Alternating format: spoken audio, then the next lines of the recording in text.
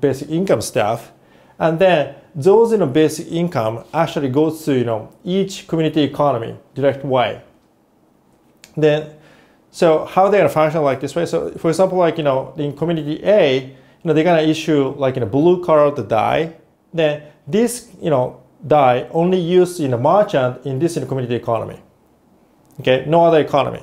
So then why this is so effective? Because once we're gonna you know issue the you know universal basic income stuff and a global basis stuff, you know this currency you can use every anywhere in the world. So, but you know, community economy wants to build the circular economy inside. So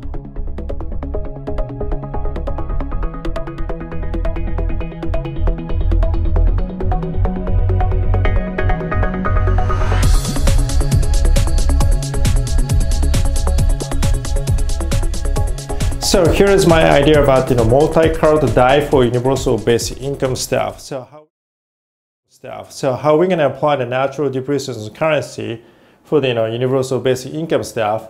And my solution is you know we're gonna leverage the technology of the DAI into the, each local community because you know once we're gonna apply the universal basic currency in the global basis stuff and into like a DAI model here, you know we cannot apply this DAI model directly to the each community, right? Because you know each community have their own circular economy inside. Okay, so but you know that is software.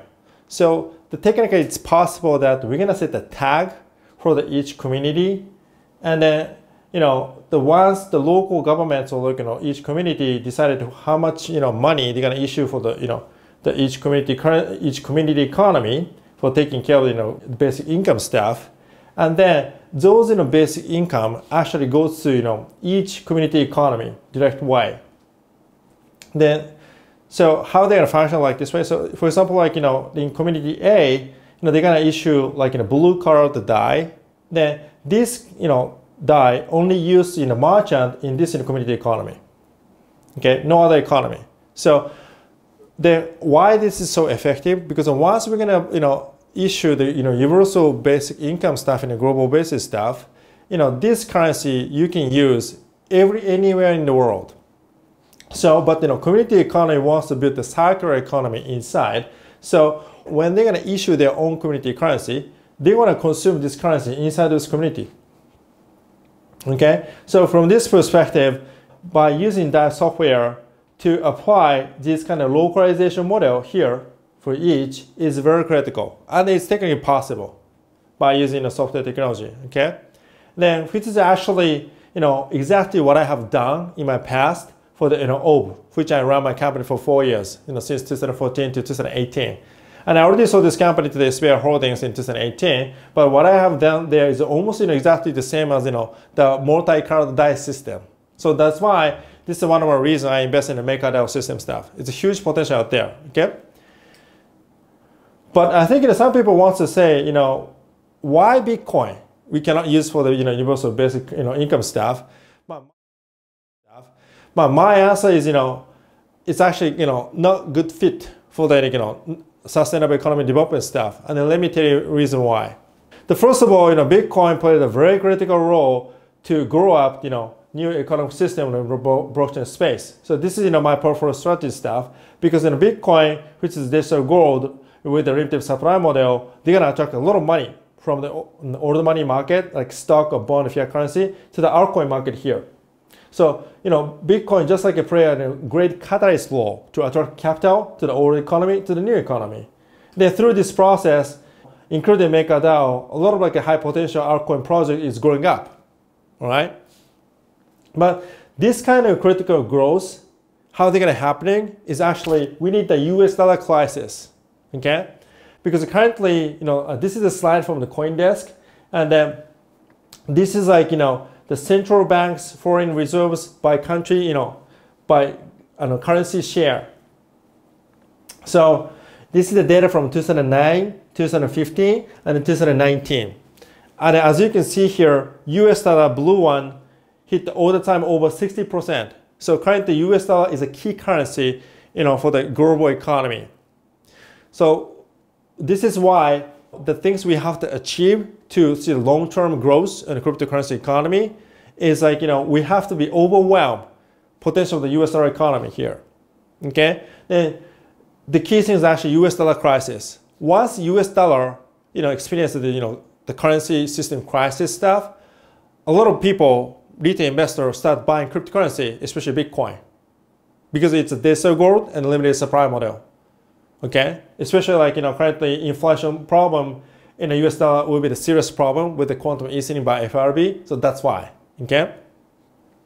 But how they gonna like a Bitcoin play a very critical role here is actually this one. So US dollars crisis will accelerate central banks to reserve BTC, Bitcoin, instead of US dollar to maintain their fiat currency trust.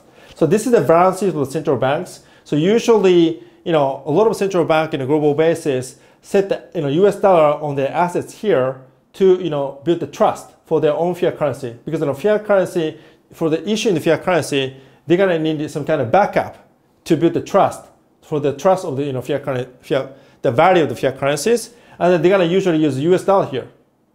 So, but once we're gonna experience the US dollar crisis, what's gonna happen? He's like, you know, some central banks start to probably buy the Bitcoin instead. Because, you know, if the retail investor, you know, start to buy a Bitcoin, which means that, you know, there is a specific trust behind the Bitcoin, that's fine. You know, central banks also want to throw that kind of mechanism stuff. That's why this kind of thing would happen.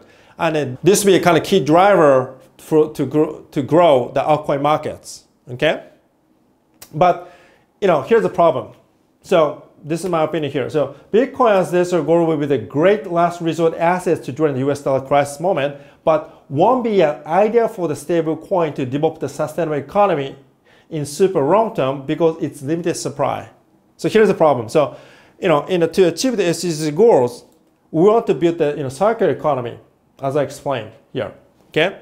Then to develop the circular economy, you know, resources inside should be circulating inside. That is why you know, natural depreciation, you know, currency, you know, play a very critical role to accelerate, but also the circulation of the resources here with the you know, currency system stuff. So that's why you know, we don't like the inflation currency here. You already understand.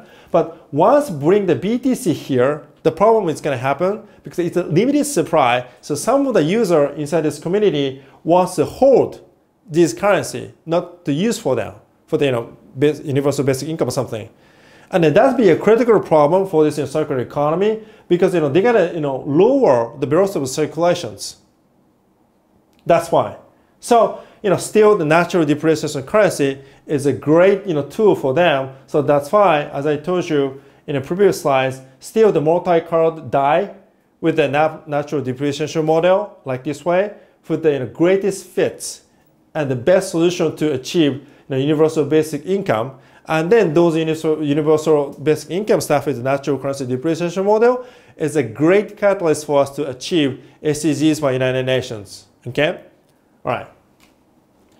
All right, so that is all this time. So I also make a lot of interesting video about the crypto assets and blockchain space too. So uh, thank you for watching. Stay tuned. Bye.